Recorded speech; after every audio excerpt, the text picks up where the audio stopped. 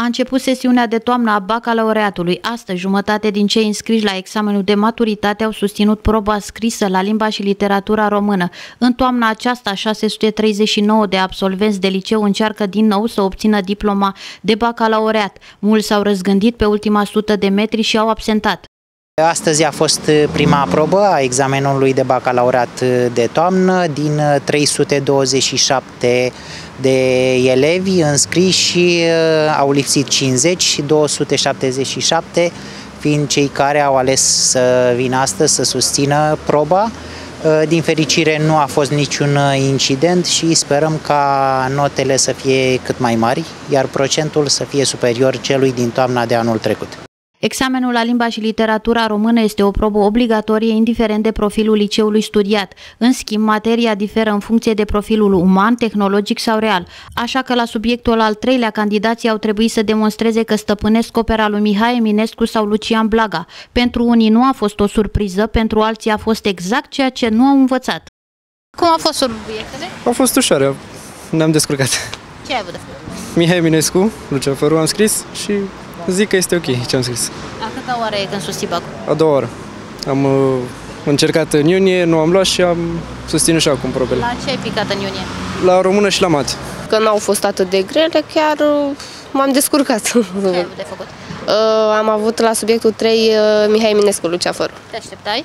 Da. Da, eram sigură că o să pice poezie.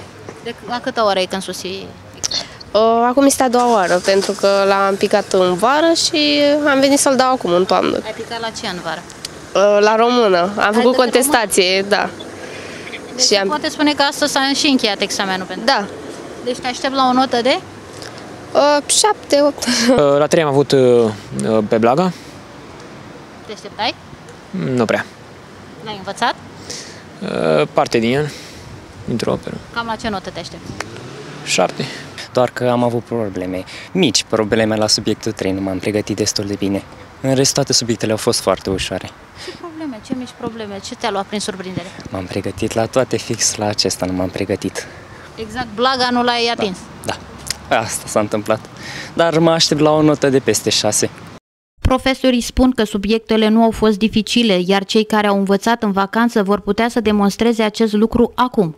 La subiectul al treilea s-a dat uh, la uh, profilul real uh, Mihai Eminescu, în timp ce la profilul umanist Lucian Blaga. Subiectele au avut un grad mediu și sperăm ca elevii să dovedească faptul că în această vacanță au învățat mai mult decât în sesiunile trecute. Unii candidați știu exact ce vor face după examen, vor să meargă la facultate sau vor să se angajeze. Și mai departe, ce planuri ai? Uh, să mă angajez și să fac o facultate la fără frecvență. Uh, aș vrea să dau la facultatea de asistentă medicală. Și mai departe, ce planuri ai? Fie poliție, fie la limbi străine, la Pitești. Doresc să dau mai departe la Craiova, vreau să merg pe industria turismului.